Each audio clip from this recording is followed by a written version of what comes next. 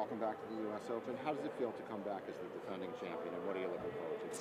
I'm feeling good. I mean, for sure, it's a great, um, great memories that I'm having from last year, and to being back in this magic place for me, um, yeah, it's the best feeling so far this year.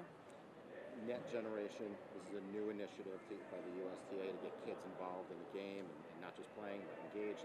Um, what can you tell me about either Net Generation or just kids in general out there playing? You know, it's a great thing. Uh, I love if kids are taking the racket, they are going, they are playing, then they're having fun on court. I think this is what um, we as players we would like to give them as much as possible to really love the sport and to yeah to follow the the passion and just you know going there with all the friends and enjoying the day